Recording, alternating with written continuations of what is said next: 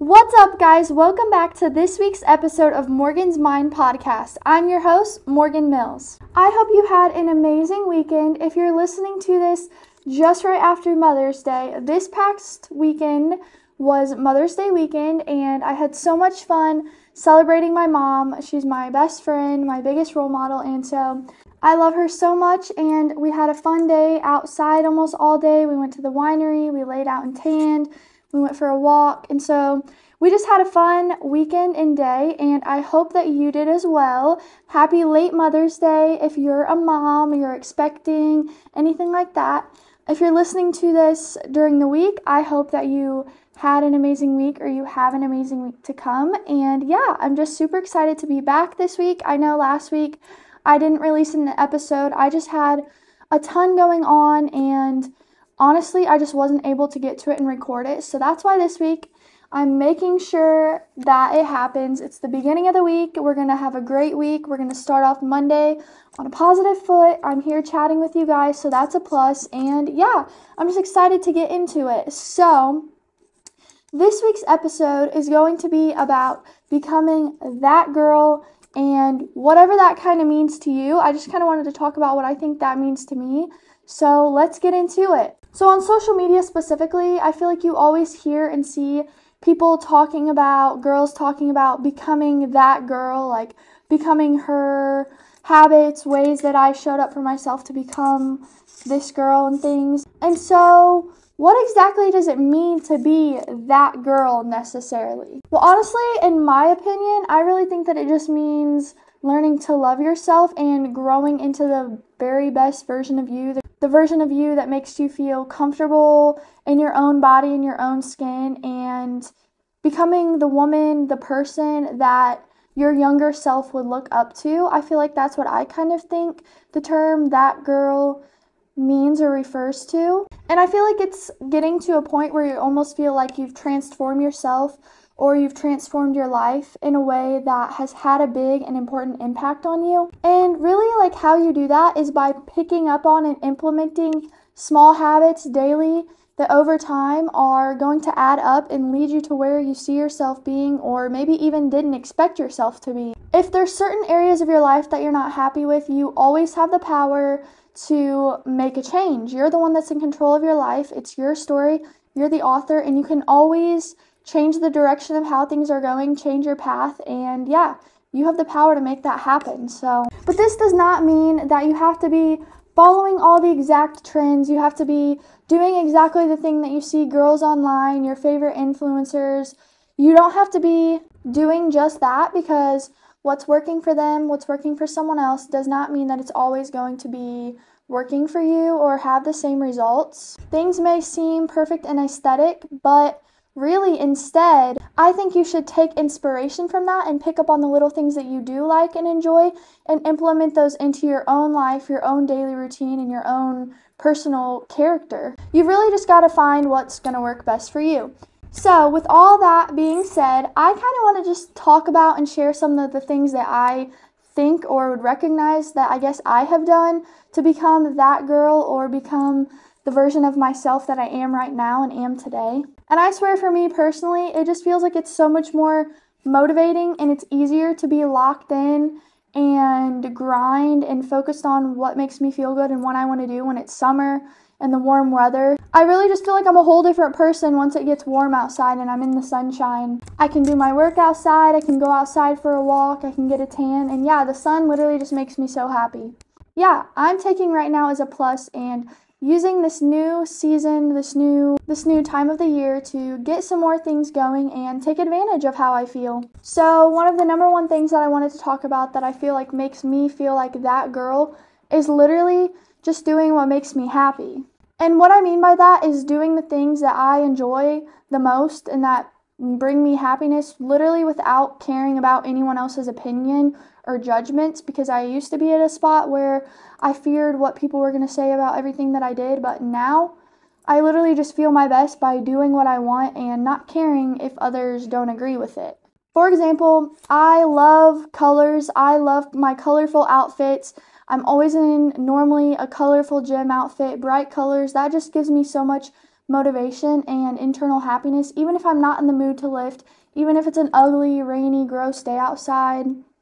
I feel like it's sort of like you're bringing your own sunshine. You can be your own light and your own happiness and do what makes you feel good to have a good day. And for me, that is dressing up in bright, cute colors, getting, I know people say, oh, the gym isn't a fashion show, but to me, I look good, I do better. You know, if you look good, you feel good, and you're probably going to do better at whatever it is, whether it's working out, a project you're working on at work, anything like that. And so that's something that I definitely do. So I've found my own style, what I enjoy, and what makes me feel my best and confident, and I've just gone with it. And that's something that, for me personally, I've stuck with. And as I've gotten more into the gym and grown with my routine and my experience and my knowledge, I've grown into feeling my best self when I'm dressed a certain way for the gym. If you're someone that feels like maybe a wardrobe upgrade, a change in your style is what's going to give you a confidence boost, either outside of the gym or inside of the gym to keep you motivated, try new things, do new things, then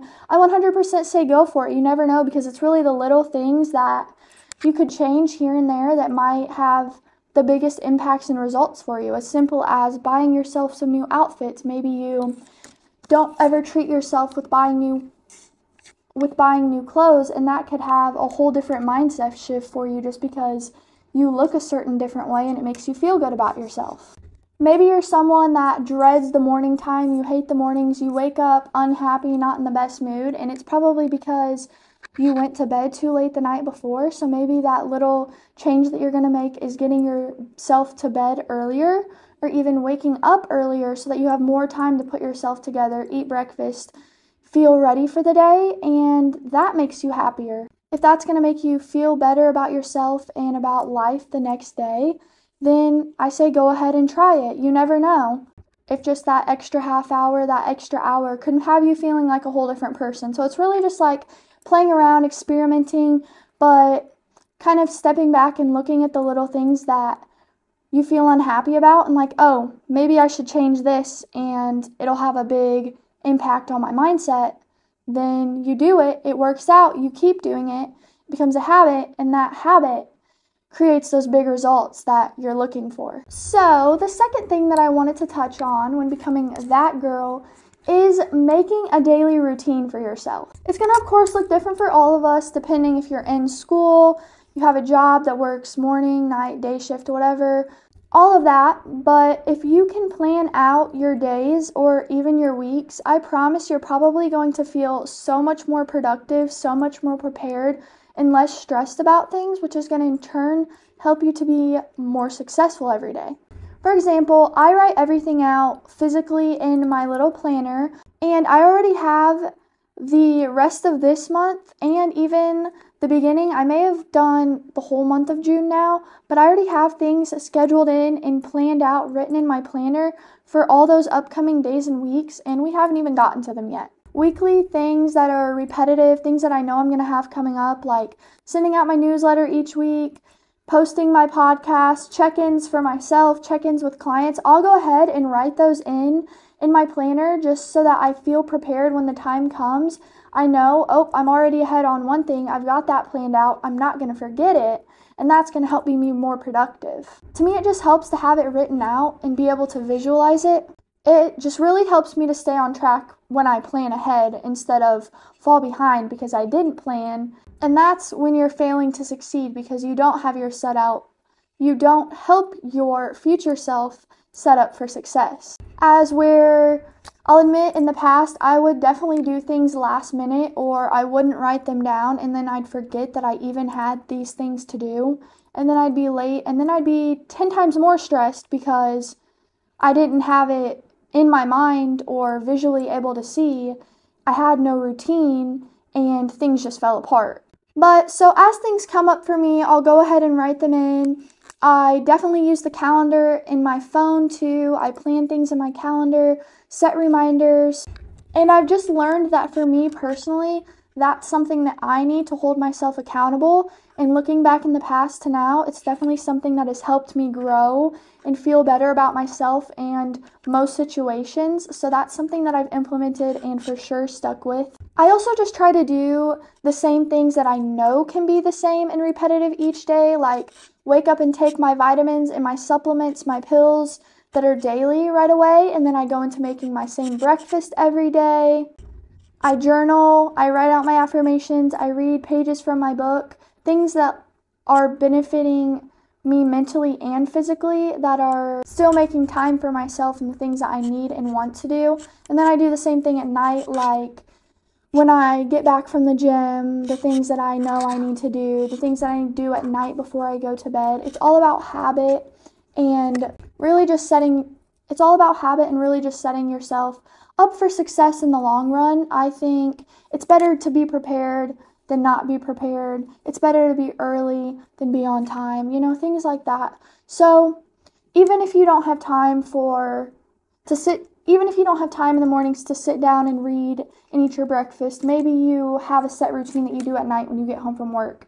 I feel like you can always make time for the things that matter and the things that are important and they're going to make you feel like your best self. So, the third thing that I want to talk about, and I kind of talked about it in the last one, I guess, but this is reading, journaling, positive affirmations, things like that that I have done that definitely make me feel like that girl and my best self. This is something that I did stop doing for a while, and if you ask me why, I have no clue why I did. I don't know. Um, I just wasn't feeling my best. I wasn't as productive, kind of falling out of routine with setting goals for myself, doing things that I needed to do. Um, feeling like I had no motivation some days to be productive or try new things or work on new things and put myself out there. And so I did stop writing out my affirmations every morning. I did stop journaling, writing out my goals physically to myself, even though I had done that at the beginning of the year. Um, and I notice such a difference of when I'm not doing this to when I am and how much it affects even just my mood. When I'm paying attention to the things that make me feel good and speaking positive to, positively to myself, I pay more attention to how I'm feeling in certain situations and can change things if I'm not the happiest. So now I am back to doing all of this. I'm back in a routine. I love in the mornings, I grab my multiple journals, my pens normally.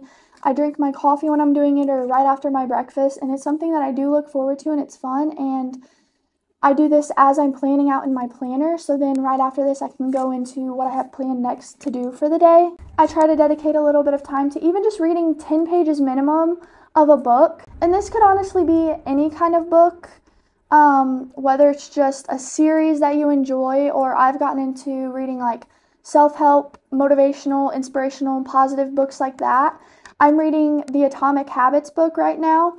Um, love that, and I love going through it just with my colorful, fun pins to make it fun and enjoyable for me, and underlining quotes, things that stand out to me and make me feel a certain way. I even have put like um, little tabs or post it notes the book that I was reading before this, The Four Agreements, that's definitely a very life changing and it has some pretty impactful things in there. So I'd recommend that book as well. But I put like post it notes on pages that I wanted to be able to flip back to and remind myself of things that I had read.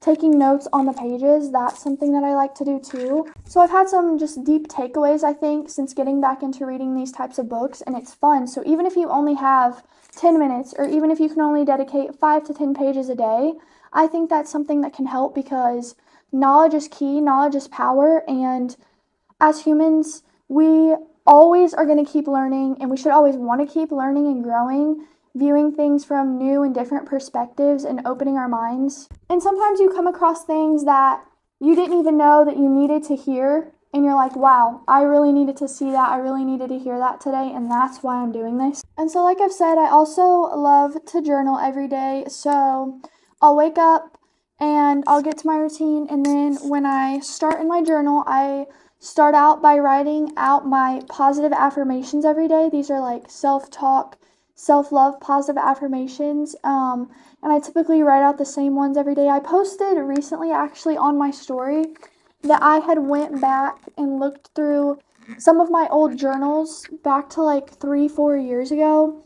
And it was crazy to see the difference of what I was writing back then and trying to manifest opposed as opposed to now in the past current year and what I write about. Like I used to do always like the 369 manifestation method. So you'd write things you'd write your affirmation, your your wish 3 times in the morning, 6 times in the afternoon and 9 times at night. And I always would write out I am skinny, I am skinny and repeat that. And I would do that every single day because that was my biggest goal. That was what I desired most was I just wished I was skinny. Whereas now today I'm writing things like I am healthy, I am strong, I am happy, I'm successful. So that's definitely crazy to be able to look back and see the mindset shift. And that's where I know self growth, even a little self growth, has happened, is because of the way that I'm speaking about myself and I'm speaking for myself. And now I want to be strong. And so I feel like the best version of myself is really coming out when I see little things like that, where the past me was only focused on not eating and not fueling my body because I wanted to be skinny. But when I write out these statements for myself, the key is to say them as if they're already happening and as if they're already true. So, like in the present tense, you want to be like, I am or I have instead of I will or I get so instead of like, let's say you were, you have a test coming up, I will get an A on this test, you would say, I get an A on my math test or whatever it is. You act as if it's already happened, it's already true, and then you repeat that to yourself until it comes up and you trick, not really trick, but you speak it into the universe, you speak it into existence. So you act as if it's already happening it's already yours and it's already come true. You're making your mind, you're telling yourself, and you're believing, you're putting out into the universe that you are capable of these things and they will happen. And so then after I write out my positive affirmations, I say them out loud or as I'm writing them, I say it as I'm writing it to myself just to literally speak it out into existence also. And then I follow that with writing out a daily intention for myself. Um, what it kind of is my main mood, goal, intention for the day. If there was something I was struggling with the day before, the week before, maybe it's this week. Today could have been my intention was to get my podcast done right away and make it meaningful and I'm doing that, which that wasn't what I wrote out today, but that's just an example. And then I'll write out my list of specific goals for the day and then a little list of just like long term goals in general. And I keep writing those out each day as if they've already happened so that I'm working towards them.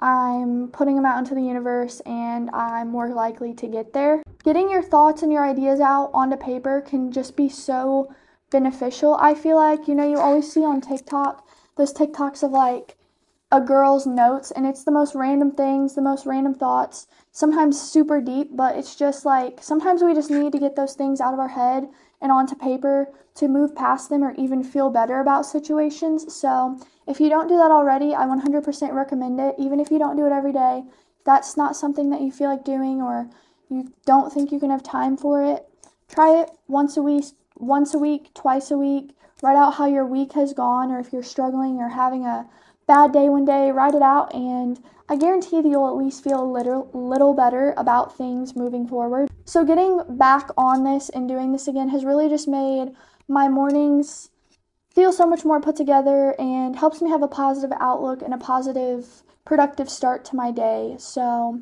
whether it's reading the Bible, reading a series, reading a personal self help book, I recommend doing this for sure. Definitely one of the things that has helped me feel like I'm working towards becoming my best self. So, those were kind of just the three main points that I wanted to touch on. Three things that stick out to me when I think about what makes me feel like that girl, um, who I am as a person, and what makes me want to do and feel better each day. So, doing what makes me feel happy, what makes me feel my best. That's dressing up cute, going to get a coffee, doing what makes me happy. Um, following, setting, and sticking to my own routine that I know is going to work for me. And then, like we just talked about, my last thing journaling, getting my thoughts out and onto paper, feeling like my best self. And there's so much more, so many more little daily habits. I literally made that as my post today. What is today? The 13th. Um, that was my caption in today's post, and I kind of shared some pictures. So if you want to go look at that, I made a little list of daily habits that I do that have big impacts for me personally, even if it's just getting outside and going on a walk after the gym because the sunlight is medicine to me and vitamin D makes me feel happy. Like we talked about in the beginning, I said I thrive during the summer, so sun is medicine.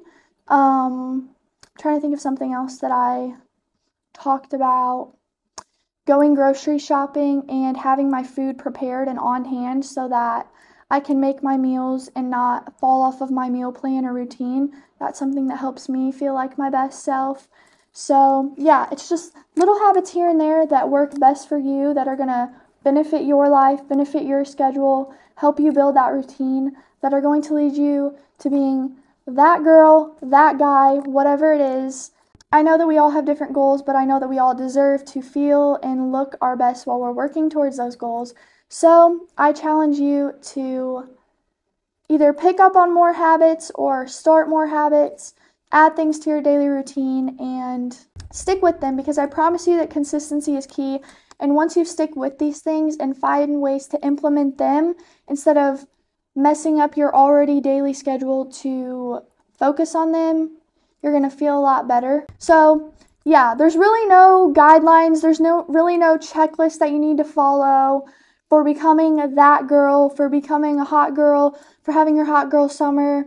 It's really just making your own mental checklist or even writing out your own checklist and checking those things off daily, um, adding things as the seasons come and go. But yeah, for me personally, that's what I feel like has helped me become this version of myself, and I hope that you guys find what works best for you too.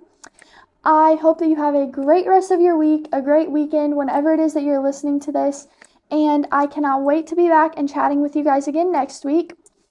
I did send out the second version of my brand new newsletter called More with Morgan today. I'm sending it out every Monday. I've posted, I think, three times now a little box on my Instagram story where you can drop your email, and then I'm adding everybody to an email list. But if you have not seen that or you just want added, please, please, please reach out to me, DM me, send me over your email, and I will get you added to that list. I love how my newsletter turned out, it's so cute. And I've got a whole different list of things that are going to be on it each week. There's going to be a day or a weekly quote, there's a weekly recipe of the week um, a workout that I'm loving each week. And then I do have a challenge for you guys at the very end, but I change all that out each week. And then I have links within, there's underlined text. And if you click on that, it'll take you to, like for the recipe, I have all the steps listed out on how you make that certain recipe. But if you click that link, it'll take you to TikTok where I show the video of me making the recipe. So if you're a visual learner, that helps. And then I've got a little section for announcements, updates, things that maybe I haven't shared on Instagram yet. And so I just think it's super fun. Another way to interact with you guys and share more about me. Um, so, yes, definitely please feel free to add your email next time I post or DM me personally, and I will get you added to the list. But I appreciate and love you guys as always. Thank you so much for listening to this week's episode of Morgan's Mind Podcast. As always, let's keep working towards becoming the very best version of ourselves possible. Bye, guys.